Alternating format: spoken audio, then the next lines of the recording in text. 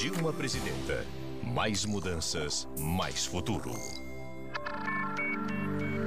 Hoje, já somos 105 milhões de brasileiros conectados na rede. É muita gente, mas nem todo mundo tem acesso ao mesmo tipo de internet. É como se alguns viajassem para uma estrada de terra e outros para uma estrada de asfalto. Uma diferença que será cada vez menor com o programa Banda Larga para Todos. A internet já é, no mundo todo, o principal canal de informação, de lazer e participação cidadã. Mas aqui no Brasil, ela tem que melhorar muito em vários aspectos, como preço, velocidade de conexão e alcance. Por isso, vou implantar o Banda Larga para Todos. Com esse programa, quero garantir que a nossa população tenha direito a uma internet de boa qualidade sem pagar mais por isso. Ao mesmo tempo, quero fazer da internet um instrumento para melhorar a qualidade dos serviços públicos e reduzir a burocracia. A saúde e a educação, por exemplo, têm na internet uma poderosa ferramenta de difusão e de acesso democrático à informação. A internet é também instrumento decisivo de transparência e participação nas decisões de governo e de acesso do cidadão às informações de seu interesse. Enfim, está mais do que na hora do Brasil usar todo o potencial da internet para se tornar um país mais moderno, mais inovador e mais inclusivo. Com o Banda Larga para Todos, Dilma vai realizar uma ampla parceria público-privada para levar fibra ótica a todo o país. O governo oferecerá financiamentos baratos ao setor privado, além de investir recursos próprios. A meta é levar redes de fibra ótica para 90% dos municípios brasileiros, para que todos tenham acesso a uma internet mais rápida. Atender os 10% de municípios restantes com sistemas de rádio ou satélite. Ampliar a velocidade média da banda larga dos atuais 5,5 para 25 megabits por segundo. E dobrar o número de conexões de 150 milhões para 300 milhões até 2018.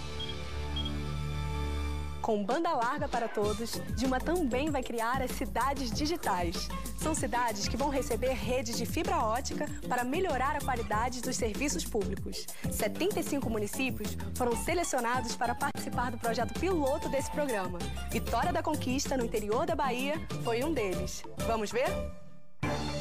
A chegada da banda larga em Conquista mudou a rotina de muita gente e melhorou a qualidade dos serviços públicos. O ensino à distância chegou à zona rural, abrindo um mundo de oportunidades. A internet é essencial, sim, na minha trajetória né, de, de estudo, porque assim, é um sonho de cada pessoa fazer faculdade hoje. Ela veio né, para realmente mudar a nossa vida, mudar a vida do homem do campo, mudar a vida dos agricultores, mudar a vida das pessoas que querem né, fazer faculdade, que querem ter uma vida diferente. Na saúde, a banda larga facilitou a vida de quem faz exames no hospital municipal. Agora, para saber os resultados, é só acessar a rede. A porcentagem dos exames que nós conseguimos liberar no mesmo dia aqui no Laboratório Central, na internet do paciente, em torno de 90%, além daquilo que se pratica, inclusive, na rede privada. Conquista também passou a ter internet gratuita em praça pública e em espaços culturais, como a Estação Juventude. Quando você tem um programa como Cidade Digital, que ele vem para uma cidade de interior e ele te coloca numa situação que você tem internet de graça para você estudar, para você sociabilizar, isso é de total importância. As ações que o governo tem disponibilizado têm chegado nas pontas, têm chegado à juventude que está na periferia, na juventude que está na cidade, na juventude que está na zona rural. E isso muda a realidade porque a juventude é protagonista dos seus próprios direitos utilizando a internet e as redes sociais. Você viu, a internet banda larga melhora os serviços públicos, amplia o acesso à educação e cria oportunidades para os jovens empreenderem, terem o seu próprio negócio e produzirem conhecimento e cultura. Por isso, Dilma vai universalizar a banda larga e, ao mesmo tempo, ampliar o apoio às startups, que funcionam como incubadoras de empresas voltadas para a inovação, a tecnologia e o desenvolvimento de softwares. É assim que o Brasil está vivendo a maior revolução digital da sua história.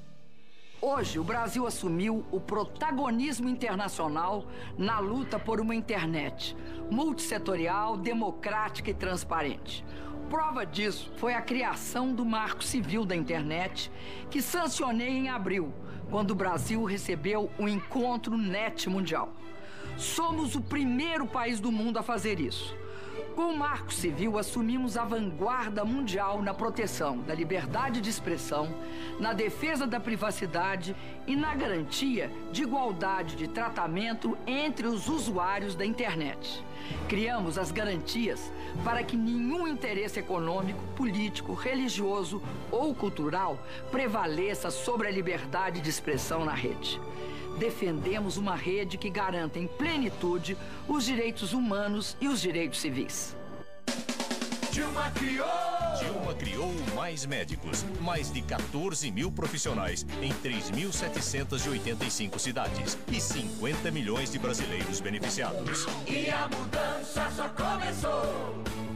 Agora a proposta de Dilma é criar o programa Mais Especialidades para agilizar as consultas, exames e tratamentos com especialistas. Não deixe o Brasil parar, não deixe parar de mudar. Dilma também vai criar centros de comando e controle de segurança em todo o Brasil, integrando Polícia Federal, Força Nacional de Segurança Pública, Polícia Rodoviária Federal e as polícias estaduais, civis e militares no combate ao crime organizado. Dilma criou, avançou e a mudança só começou.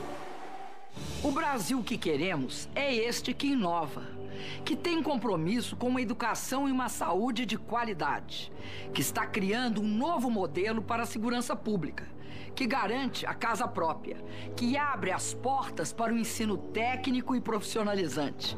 Enfim, um Brasil que está sendo construído com muito trabalho e não quer voltar atrás nem dar um salto no escuro. Pelo contrário,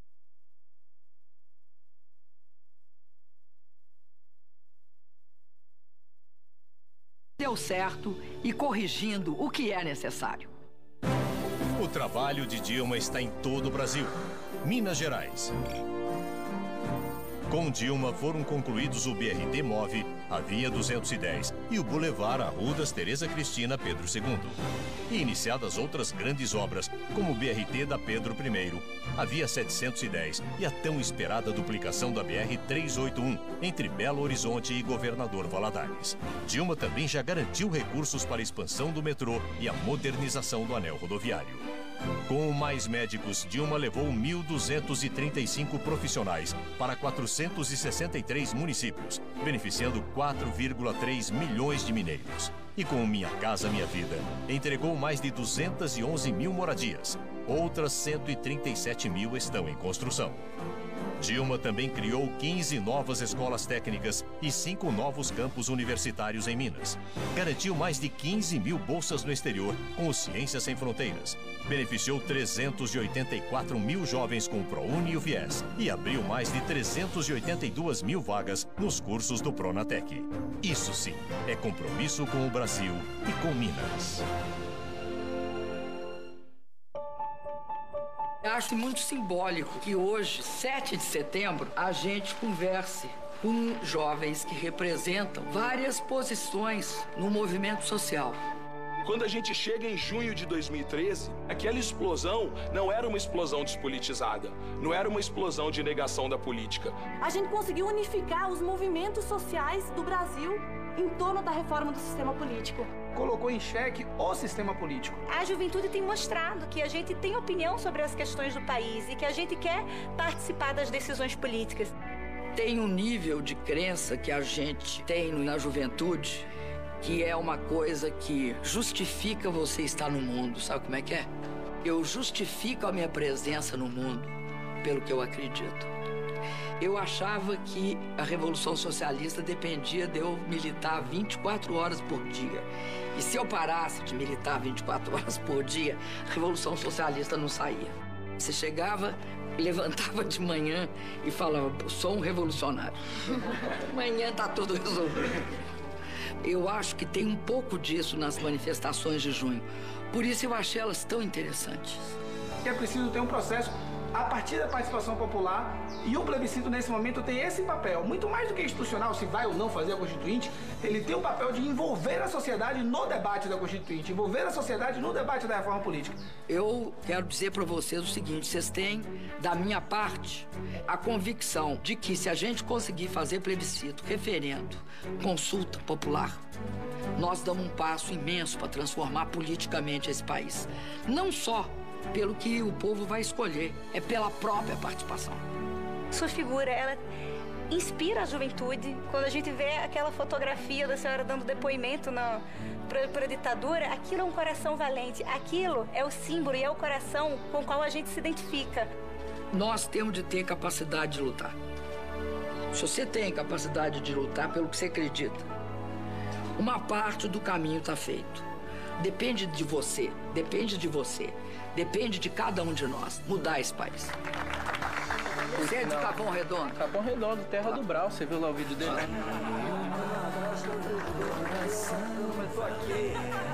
Conhece ou conheço? É com esse, liga.